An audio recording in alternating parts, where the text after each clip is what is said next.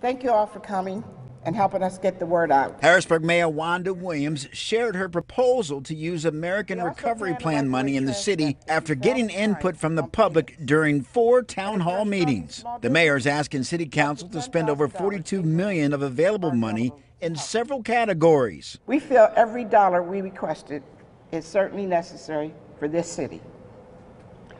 At the center of this request is the responsibility we feel towards helping the most vulnerable in the city. Mayor Williams is recommending $14.5 million should go towards helping lower income city residents. Here's the breakdown. 8 million for affordable housing, 5 million for home repairs, and a million and a half for delinquent utility bills and small business assistance. We have a lot of individuals here within the city who need work done on their house.